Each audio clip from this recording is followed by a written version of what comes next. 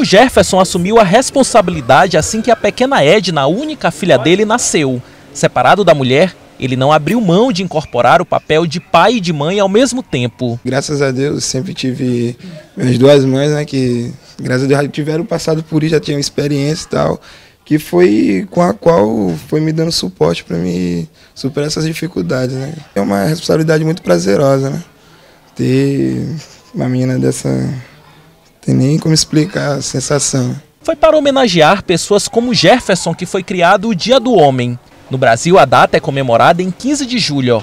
Se no passado era impensável ver homens se revezando em atividades profissionais e domésticas, hoje essa realidade é mais comum do que se imagina. O, o, o, machismo que predomina na maioria das sociedades ainda predomina, a atitude machista, uma sociedade construída para o homem se realizar, ele colocava a mulher como uma posição secundária, como alguém coadjuvante desse papel, principalmente a esposa, principalmente a mãe.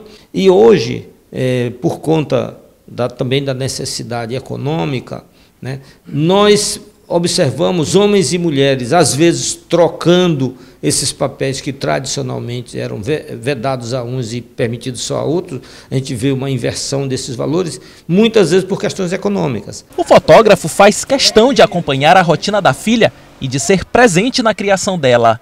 Um homem que, se tivesse que fazer tudo de novo, não pensaria duas vezes. Uma relação que é, sem dúvida, exemplo de amor incondicional. Cara, é um amor que não, não tem nem como explicar, cara. Sei que toda essa habilidade, amor é uma coisa muito boa, né? De acordo com este psicólogo, a sociedade segue em constante transformação e a cabeça do homem também. Realizar tarefas que competiam unicamente às mulheres já não é nem mais um bicho de sete cabeças. Um novo homem, uma nova mulher estão surgindo. Na verdade, não, os que fazem isso, os que vivem essa realidade na prática, ainda são é, figuras assim é, observáveis. Vai chegar um dia que isso vai ser tão comum que não vai chamar a atenção. Tomara que seja, seja logo.